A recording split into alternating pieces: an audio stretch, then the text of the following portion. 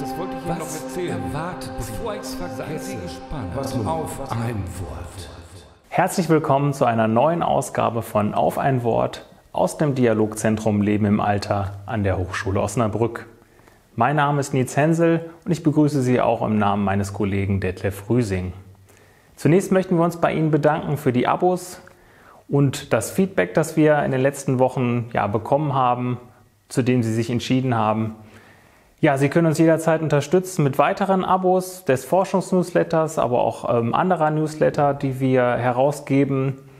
Und äh, Sie können uns gerne auch auf Fördermöglichkeiten hinweisen. Wie wir ja schon öfter erwähnt haben, läuft die derzeitige Förderung durch das DNKP leider aus. Und zwar kontaktieren Sie da am besten meinen Kollegen, den Detlef Rüsing, unter der d.rüsing.hs-osnabrück.de. Bevor wir auf die Beiträge eingehen, die Sie von uns in den nächsten Wochen auf www.dzla.de erwarten können, möchte ich Sie noch einmal auf die Dialogakademie und die ja jetzt zu erwartenden Online-Seminare hinweisen. Und zwar wären das am 29.08. Du sollst nicht lügen, Umgang mit Halluzinationen und Wahn bei Demenz.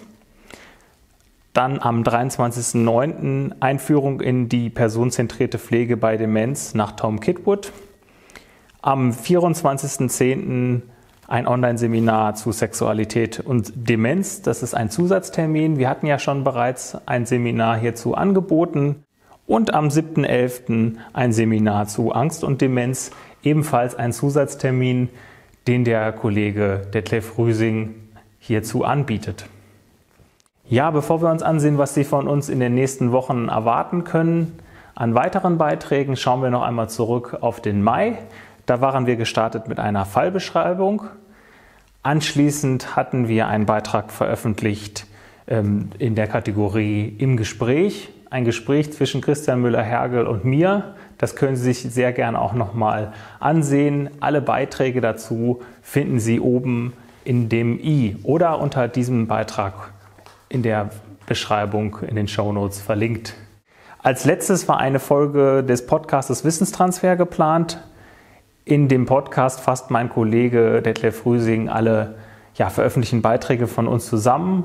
Eine weitere Folge wird es geben am Ende des nächsten Monats. Ja, da kommen wir auch schon direkt auf den Juni.